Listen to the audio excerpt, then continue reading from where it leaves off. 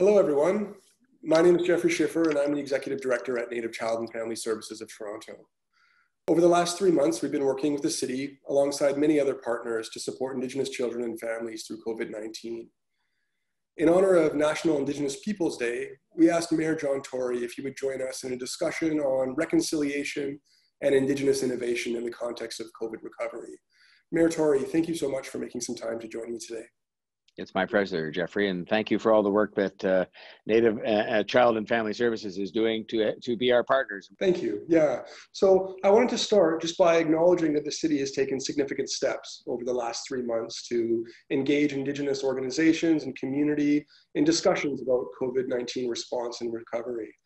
What role do you see Indigenous organizations playing as you continue to lead our city through COVID 19 recovery? Well, I think one of the great lessons we have learned is when you form uh, partnerships with those organizations and you you actually let them you know set the agenda to a greater extent and we're there kind of as the supporting partner as opposed to the leading partner that you produce something that not only has more effective results but that you produce something that can be sustained.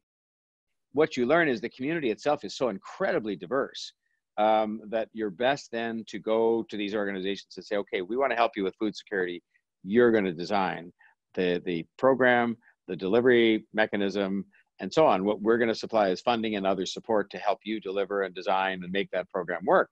And so, to me, the innovative, uh, you know, capacity of the indigenous communities is almost unlimited because um, they they are so diverse and they have to come up with a solution that is, you know, unique. And I think the creativity that I've seen has been um, you know has been incredible and, and it really proves that if you if you form these true responsive sensitive partnerships that that will work better for everybody including the city yeah, and I think it's an exciting time for the city with the new Indigenous Affairs Office getting off the ground, doing excellent work, um, and really changing and supporting the relationship that the city has between a lot of Indigenous partners. I'm just wondering, throughout that work, um, how is your concept or understanding of reconciliation changing? What does reconciliation mean to you in the context of this pandemic? To me, it's respectful, collaborative partnership.